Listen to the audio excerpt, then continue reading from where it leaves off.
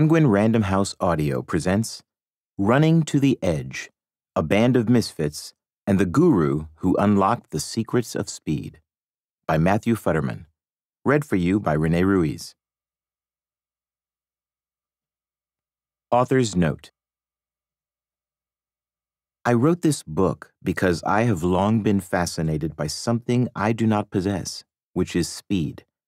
Every runner I have ever known, including an 85 year old woman in Northern California who ran seven hour marathons, and Eliud Kipchoge, the otherworldly Kenyan who runs them in just over two, shares a desperate desire to run faster.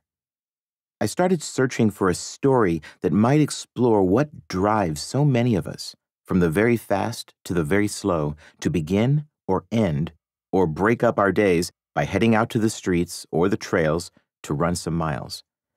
Sometimes we don't even know how far we will go when we start. And isn't that the beauty of it? Then I saw a picture of a running team from the mid 1970s. They had scraggly hair and hopeful eyes, ridiculous or amazing uniforms with a toad logo, and the kind of lean physiques that only thousands of hours of road work can produce. I knew their coach, Bob Larsen, from his work with the marathon champion Meb Keflezighi, but I had no idea this was where it all began. Those guys called themselves the Jamul Toads. They looked a little nuts, which is how most people felt about nearly every runner who logged heavy mileage back then. I had a hunch they embodied the obsessive and rebellious spirit at the roots of this strange endeavor, and that those runners and their coach could help me understand why we run. As I unearthed their story, I realized it went so far beyond what I expected. I like to think the spirit of those toads, so visible on that photograph, is timeless. It lives on today at every level of this beautiful pursuit. Matthew Futterman, November 2018. It is the brain, not the heart or lungs, that is the critical organ. Roger Bannister, miler, neurologist. Prologue Athens, Greece, August 29, 2004. Bob Larsen has lost his mind. That's been the word around the campfire and running circles for a little while now. For three years, he's been dragging runners up to Mammoth Lakes in California's southern Sierras preaching the benefits of running and sleeping so far above sea level. There, and only there, they will find what they need to avoid getting laughed at by all those Africans, the Kenyans and Ethiopians, and everyone else at the top of the game. Runners who barely consider Americans to be participants in the same sport anymore. Judging from the results of the past couple of decades, they really have no reason to. And yet, Bob Larsen believes as strongly as he believes anything that after these Olympic Games, they will. That's why everyone who knows anything about running is certain that Bob Larsen has cracked. Sure, he spent the 1970s figuring out how to run so far, so fast, before anyone else had cracked the code. Then he produced all those national champions and Olympians at UCLA in the 1980s and 1990s but this idea that runners from his part of the world can figure out how to keep up with the folks born and raised to be champions in East Africa's highlands, well, that just seems a little loony. Bob Larsen does not think so, though maybe it is, and maybe Larsen is a little loony himself. Case in point, he spent several days hunting for the coldest freezer in the Olympic Village, comparing set points and feeling inside them searching for the one that will keep the ice vests he wants his marathoners to wear until right before the starter's pistol fires as cold as possible. He finds the coldest one in the kitchen near the village dining hall. He finds this pushy New York woman who works there. She promises she can barrel her way through any obstacle. She gets the vests into the freezer the night before the race and gets them to him the next day. Bob could sense the eye rolls and the sideways glances from the other coaches when he told them of his quest for the perfect freezer. That was just fine with Larsen. This is how it was back in the 1970s when he took that first group of hippie runners no one took seriously and he elevated them to national prominence. When no one sees you coming, you have them right where you want them. For a moment, one week earlier, on the middle Sunday of the Olympic Games, the running world stopped and had to reconsider Larsen's sanity. On that day, American Deena Kastor came from way, way back in the women's marathon and sneaked onto the podium with a bronze medal, the first U.S. distance medal since 1984. Deena who?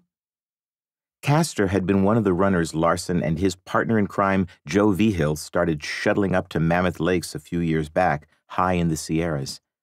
And here, in Greece, she wore the ice vest to the start line, then raced the plan Larsen and her coaches had designed for this crazy, blazing hot Olympic marathon. The course followed the trail that gave the race its name, the road from Marathon to Athens the one Pheidippides ran to announce the Greek victory over the Persians. Pheidippides collapsed and died after delivering the message. To avoid that fate in the heat of the Athens summer, Kastor's coaches told her to let everyone else fight for the lead early, and especially during that largely uphill stretch between miles 2 and 20. They bet the heat and the stress of the course would produce widespread panic among even the elite of the field. Panic produces mistakes. Let the others make those mistakes and then pounce. They did, and then she did. Still, that was the women's race, the Larsen skeptics whispered. The women's field lacked the depth and firepower of the men's competition. Kastor had done well, but the African men had proven themselves an entirely different life form, unapproachable. Larsen can feel those doubts the subliminal snickering, as he rides to the start line with his prized protege, the 28 year old Meb Keflezighi. Exiting the bus, Meb gets the ice vest pulled on tight. For 10 years, he has done nearly everything Larsen has told him to do, and he isn't about to stop now. Larsen let him come to Athens for the opening ceremony. Then he put Meb on the first plane back to a hotel in Crete, where they had set up a base camp for training in the weeks ahead of the Games. More fun in the athletes' village, Meb said. More sleep on Crete, said Bob, and that was that. Weeks before this marathon, which is scheduled for 6 p.m. on the final day of the Games, Meb drove the course with Larsen. What do you think you can run out here? Bob asked him. In this heat, 211 or 212, Meb said. I agree, Bob told him. And if you do that, you are going to get a medal. On paper, Meb should have no shot at the podium. There are 101 runners in the field. He has the 39th fastest personal best for the marathon in the competition. His best is 2 hours, 10 minutes, 3 seconds. Kenyan Paul Tergat, the world record holder and favorite, has run a 2 hour, 4 minute, 55 second. That's more than a full mile ahead of Meb's best pace. No one knows about the work, though.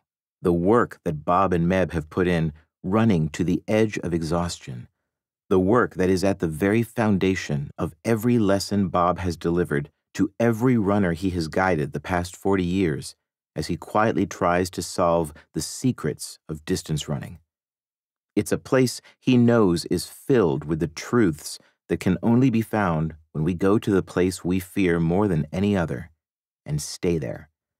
Because when you go there, day after day, what happens in the race is not about how pristine your practice track is, or whether there is a certain logo on the side of your shoe or on the singlet across your chest. It might be a winged foot, or a swoosh, or even a toad. The race, and winning the race, will be about being the best version of yourself on the day you are supposed to and what happens when you pursue that edge without fear. Nothing else. In the warm up area before the race, Bob and Meb don't speak of any of this. They barely talk at all. Just another little race, Bob tells Meb with a wink. There is no need for any last minute reminders. Meb knows everything he needs to know. He knows to keep an eye on the Italian, Stefano Baldini, who has a proven record of running strong in the heat. It's in the low 80s as race time approaches. There is nothing more to say. As Meb goes to the start, finally discarding the vest, Larsen loads into a van for coaches. We hope you enjoyed this preview. To continue listening to this audiobook on Google Play Books, use the link in the video description.